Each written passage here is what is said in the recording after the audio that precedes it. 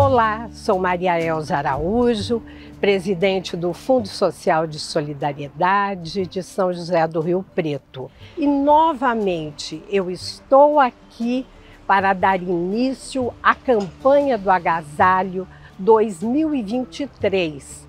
Mais coração, menos frio.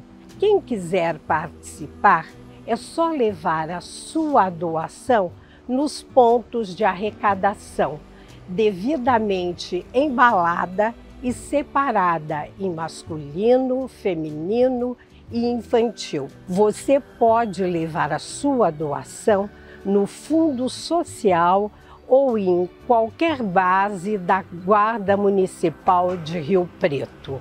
A entrega das peças será feita de forma imediata para as instituições e entidades que atendem essa população.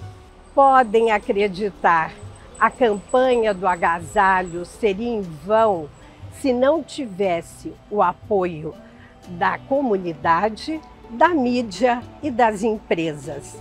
Participe!